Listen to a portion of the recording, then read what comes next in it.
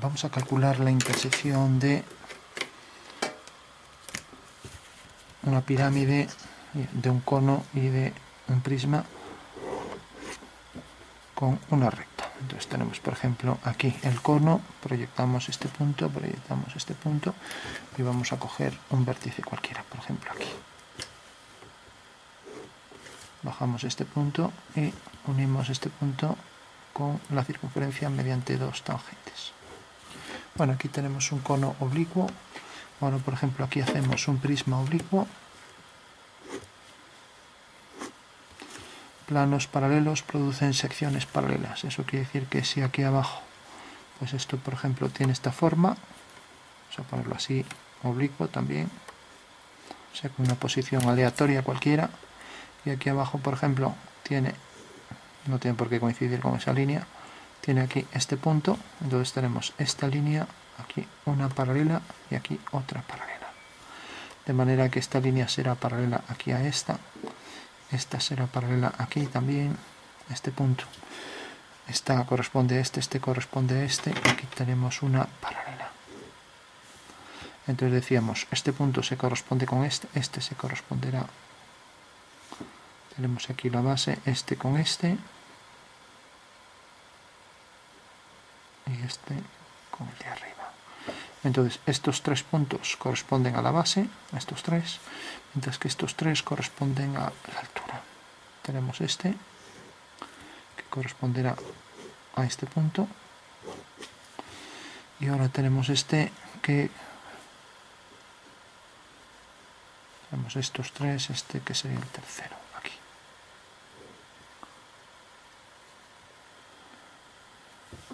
Está un poco torcido, pero bueno. Bueno, por último vamos a coger una pirámide cualquiera.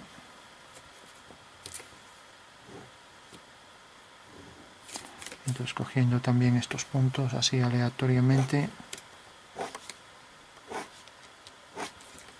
Cogemos aquí, por ejemplo, estas aristas para la base. Vamos a hacer que esta coincida con la de atrás, un pentágono irregular. Y este vértice cae, por ejemplo, aquí tenemos aquí ya la pirámide.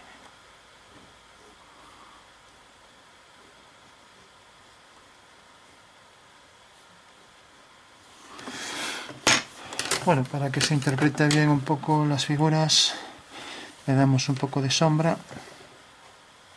Entonces tenemos esta cara, aquí podemos mm, oscurecer un poco esta de atrás, pero realmente la que tenemos aquí es esta, delante tenemos ya ahí la figura. Luego por ejemplo vamos a darle aquí una cara más oscuridad que a esta otra y esta una poca. Vamos a darle aquí más todavía. Y esta un poco. Entonces tenemos la pirámide ahí con tres caras esta más oscura y esta todavía más oscura. Mientras que aquí tenemos esta figura que es el prisma con esta cara oscura que es la que se ve desde arriba por ejemplo. Y por último el cono que vamos simplemente a marcar un poco aquí en los bordes algo de oscuridad siguiendo la disposición de sus generatrices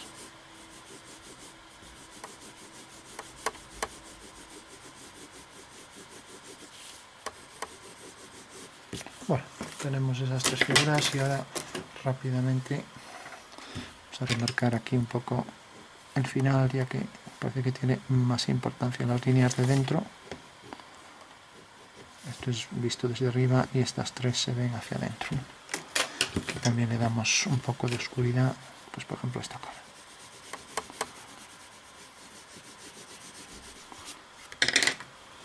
Bueno, intersección de una línea con esas figuras ¿no? O sí, una línea recta. Bueno, vamos a empezar por la más fácil, por ejemplo, aquí, esta línea que viene por aquí y vamos a ponerla, por ejemplo, por aquí. Bueno, pues esto nos imaginamos aquí. Esta línea, por ella podemos pasar un plano y este plano corta a las tres aristas en estos tres puntos. El plano S hacemos que sea un plano proyectante vertical, o sea, cuya traza coincide con esa línea. Entonces estos tres puntos debemos proyectarlos a las aristas que se corresponden. Entonces, por ejemplo, esta arista es aquí la más saliente. Tenemos que es, bajar una vertical, esta. Ahora tenemos esta que corresponde a la más saliente hacia la izquierda. Tenemos, por ejemplo, que es esta. Y por último tenemos esta arista que corresponde a la última, a esta. Por tanto, la intersección del plano con esa figura es este triángulo. Y vemos que la línea que viene por aquí corta ese triángulo en este punto y en este punto. Por lo tanto, subo ese punto de intersección aquí y subo el otro punto y vemos que la línea penetra por aquí, viene por aquí, penetra por el prisma y sale por este punto. Entonces vamos a remarcar bien la línea viene por aquí, corta el prisma, entra y sale por ese punto. Viene por aquí, lógicamente desde arriba no se ve porque esta cara está detrás, llega hasta aquí, atraviesa la figura y ahora viene por aquí. Bueno, pues esa sería entonces ya vamos a marcar un poco más la figura que al haber remarcado tanto las líneas interiores les decíamos pasa por como viene de abajo hacia arriba en esta dirección y sentido corta la línea de atrás en ese punto no se ve desde aquí al punto de corte luego pasa por esta arista estos tres puntos son los que hay que bajar o sea una vez que tenemos aquí las tres intersecciones tenemos la intersección A la intersección B y la intersección C entonces A hay que bajarlo aquí, A1, B, que tenemos B1 y C aquí al final que lo bajamos aquí, C1, 2, 2, 2. Bueno, pues esa sería la intersección de la recta con el prisma. Si ahora, por ejemplo, hacemos la intersección con la pirámide, pues hay otra técnica. Vamos a hacer entonces aquí, por ejemplo, una línea que viene por aquí. Vamos a hacer por ejemplo que venga por aquí. Así.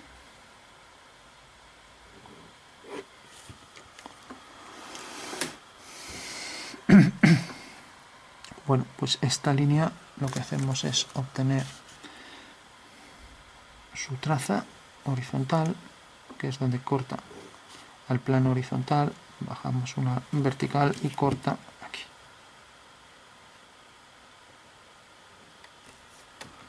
Bueno, este es un punto de intersección. Bueno, también podríamos, si queremos prescindir de esto, vamos a darlo mejor como aquí porque es más rápido y más fácil. Entonces, directamente cogemos estos puntos, otra vez el plano proyectante vertical. Entonces este punto corta a esta arista aquí. Este punto corta a esta arista aquí. Este punto pertenece aquí a esta arista. Este pertenece por aquí a esta arista. Y este coincide con el de atrás aquí eso quiere decir que la sección pentagonal viene por aquí. Por tanto como ya tenemos esta sección pentagonal vemos que la línea que viene así corta aquí en este punto y corta la salida en este punto. Con lo cual efectivamente ya sabemos que esa es la zona de entrada la zona de entrada para la recta y esta la zona de salida. Y si ahora representamos aquí proyectamos este punto pues este es el punto de entrada y este el punto de salida. O sea que desde ese punto de salida ahí sale la línea y entra por aquí pero este trozo está detrás discontinuo entonces viene por aquí. Bueno pues eso efectivamente es la intersección de la recta con el plano y vamos a hacer otro método pero bueno lo dejamos poco a nivel intuitivo. Si yo, por ejemplo, alineo este vértice con el punto de intersección, así viéndolo a posteriori, esta cara corta a la línea que intercepta la cara en un punto. Por ese punto va a pasar el plano, el plano que pasa por la recta y por el vértice. Entonces, ese plano corta también aquí debajo en este punto y se tiene que estos tres puntos están alineados. Entonces, el tema es, y ya lo aprovechamos para esta figura, si yo tengo la intersección de una figura, por ejemplo, un cono, ya que aquí no tenemos aristas, aunque bueno, también podríamos hacer sin tener aristas, considerar el plano de corte que pasa por la recta, ¿no? También lo podríamos hacer así, pero bueno, lo vamos a hacer de otra manera. Aquí tenemos una recta. Esta recta corta al plano del suelo, al plano horizontal en un punto. ¿no? Entonces lo que hacemos es simplemente, pues cogemos por ejemplo un punto y calculamos aquí la intersección. Entonces, un punto alineado con V, un punto de intersección y tenemos que, bueno, este no corta, vamos a imaginar que corta aquí. Unimos con este punto, corta en este punto y en este a la base. Entonces unimos con el vértice y tenemos punto de entrada y punto de salida. ¿no? Bueno, pues esa sería otra forma de hacerla. Vamos por último a verla aquí. Entonces hagamos la línea, por ejemplo, vamos a hacer esta línea que viene por aquí.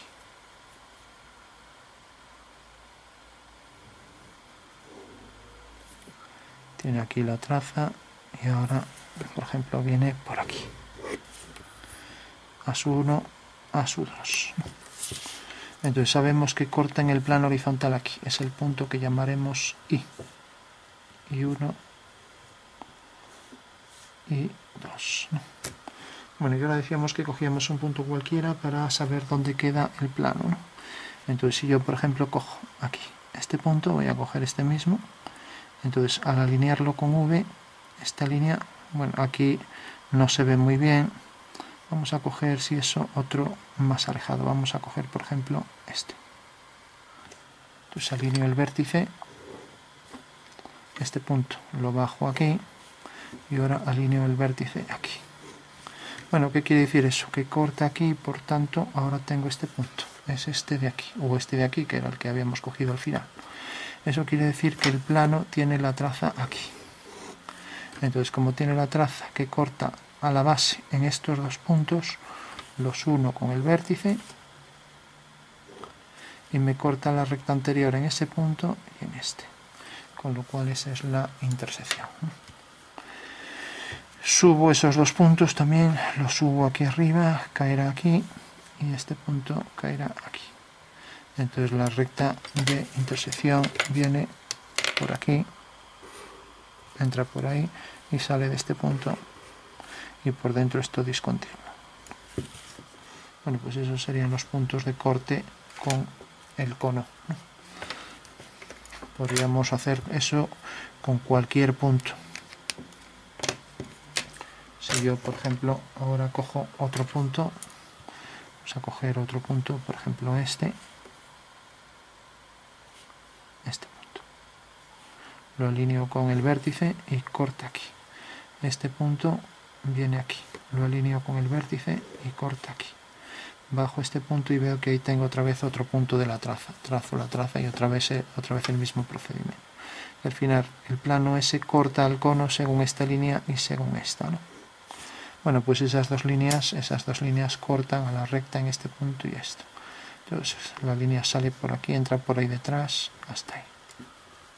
Bueno, pues esa es la intersección de una recta con distintas superficies radiadas. Radiadas son aquellas que se pueden construir a partir de un radio. Si cogemos un punto y se mueve, tenemos una superficie cónica. Si la base es líneas rectas, pues tenemos piramidal. Y si este punto va al infinito, se mueve pues siguiendo una superficie cónica o una superficie prismática, si lo hace mediante líneas poligonales. Y tenemos varias radiadas del cono superficie en este caso oblicua y luego estas dos figuras irregular la pirámide también oblicua ya que este vértice bueno, al ser mm, irregular, pues la simetría ya hace que realmente esto pues vaya a ser oblicuo, ¿no?